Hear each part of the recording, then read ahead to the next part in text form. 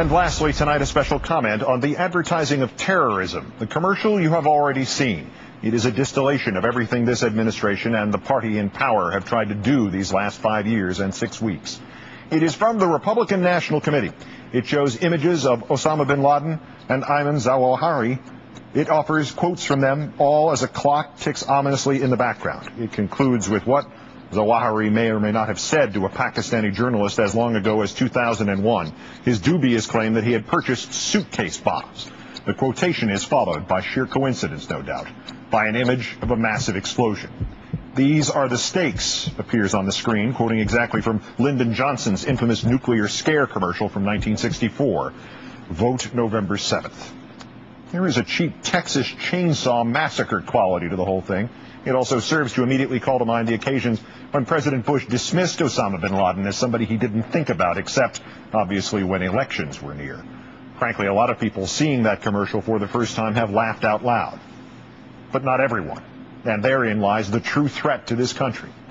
The dictionary definition of the word terrorize is simple and not open to misinterpretation. To fill or overpower with terror, terrify, to coerce by intimidation or fear. Note, please, that the words violence and death are missing from that definition. For the key to terror, the key to terrorism is not the act, but the fear of the act.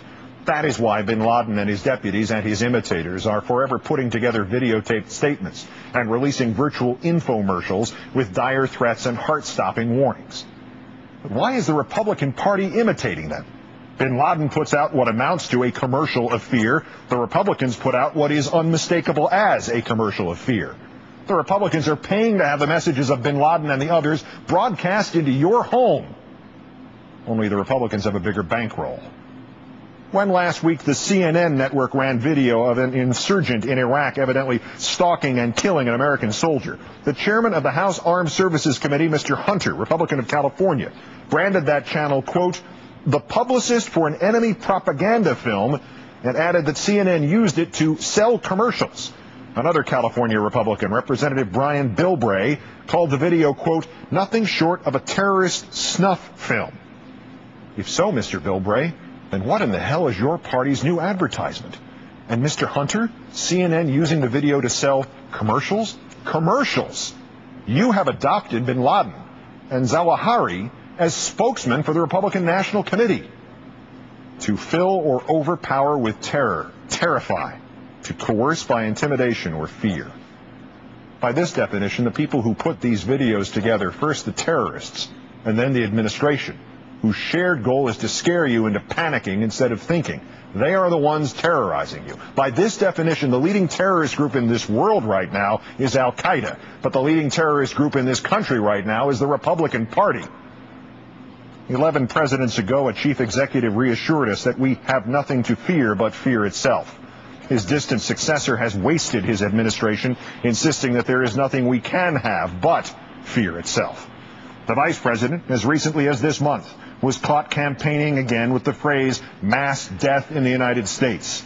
Four years ago, it was the now Secretary of State, Dr. Rice, rationalizing Iraq with, quote, we don't want to be the smoking gun to be the mushroom cloud. Days later, Mr. Bush himself told an audience that, quote, we cannot wait for the final proof, the smoking gun, that could come in the form of a mushroom cloud. And now we have this cheesy commercial, complete with images of a faked mushroom cloud and implications of mass death in America. This administration has derived benefit and power from terrorizing the very people it claims to be protecting from terror. It may be the oldest trick in the political book, scare people into believing they are in danger and that only you can save them. Lyndon Johnson used it to bury Barry Goldwater. Joe McCarthy leaped from obscurity on its back. And now the legacy has come to President George W. Bush. Of course, the gruel of fear is getting thinner and thinner, is it not, Mr. President? And thus more and more of it needs to be made out of less and less actual terror. After last week's embarrassing internet hoax about dirty bombs at football stadium, the one your Department of Homeland Security immediately disseminated to the public, a self-described former CIA operative named Wayne Simmons cited the fiasco as, quote, the, and I mean the, perfect example of the President's Military Commissions Act of 2006 and the NSA terrorist eavesdropping program, how vital they are. Frank Gaffney, once a respected Assistant Secretary of Defense and now the president of something called the Center for Security Policy, added, One of the things that I hope Americans take away from this is not only that they're gunning for us not just in a place like Iraq, but truly worldwide. Of course, the they to which Mr. Gaffney referred turned out to be a lone 20-year-old grocery bagger from Wisconsin named Jake, a kid trying to one-up some other loser in an internet game of chicken. His threat referenced seven football stadiums at which dirty bombs were to be exploded yesterday. It began with the one in New York City, even though there isn't one in New York City. And though the attacks were supposed to be simultaneous, four of the games were scheduled to start at 1 p.m. Eastern Time and the others at 4 p.m. Eastern Time. Moreover, the kid said he had posted the identical message on 40 websites since September. We caught him in merely about six weeks, even though the only way he could have been less subtle, less stealthy, and less of a threat was if he bought an advertisement on the Super Bowl telecast.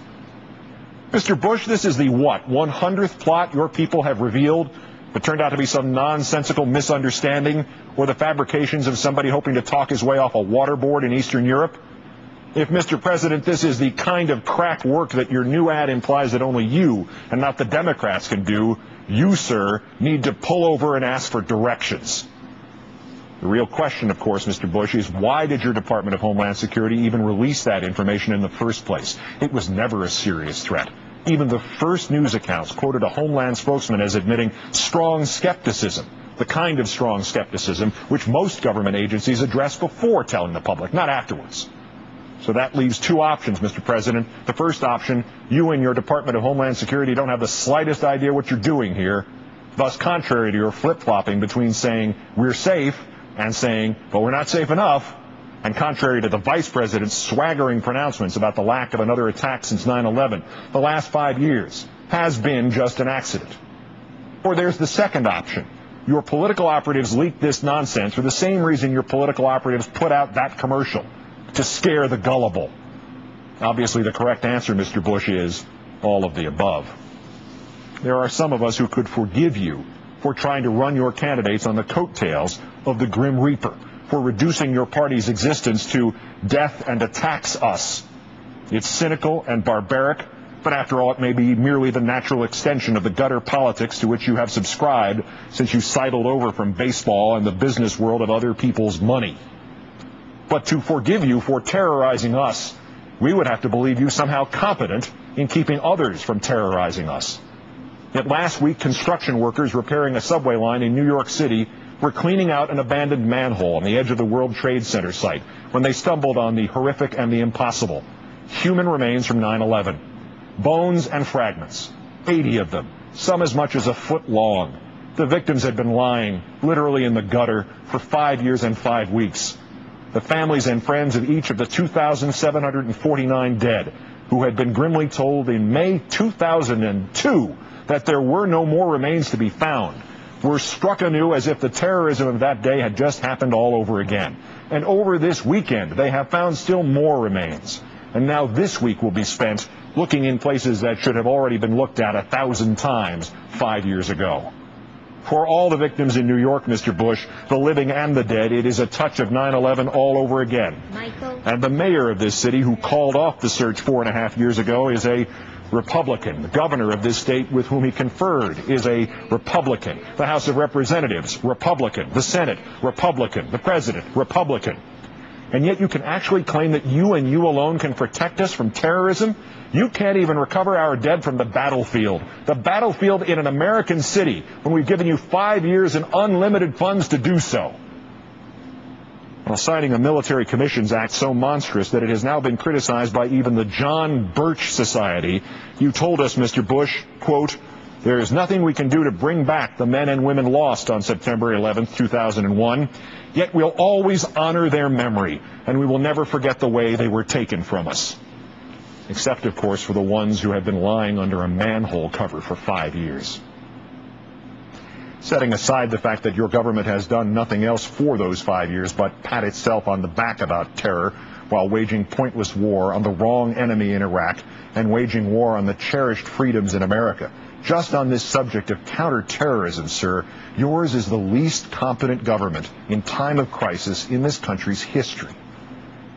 These are the stakes, indeed, Mr. President. you do not know what you are doing. And the commercial, the one about which Zawahiri might say, hey, pretty good, we love your choice of font style. All that further needs to be said about that is to add three words to Shakespeare. Mr. President, you and that advertisement of terror are full of sound and fury, signifying and competent at nothing. Good night and good luck.